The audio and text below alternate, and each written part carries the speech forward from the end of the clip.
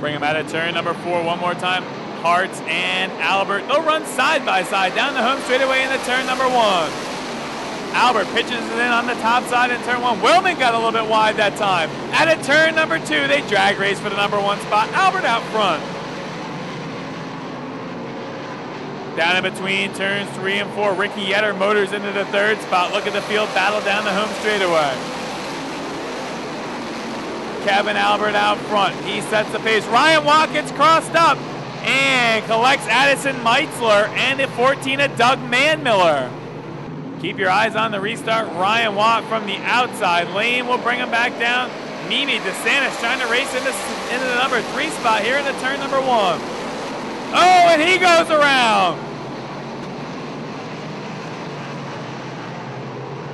He'll set high in the three. This time, John Willman dips down to the inside. Kevin Albert still holding on to the number two spot, keeping him at bay down the home straightaway.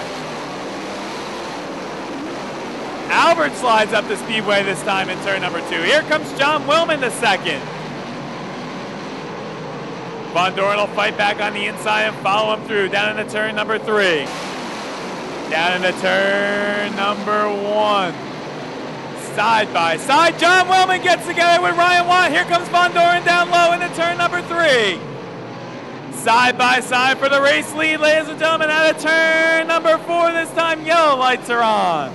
78, Neil Huber drawing the caution. Doesn't look like he'll be able to have enough time to make a bid. Coming out of turn number four, checker flag will fly. It's the Electric Company taking the win, Ryan Watt. Welcome to Victory Lane, Ryan Watt.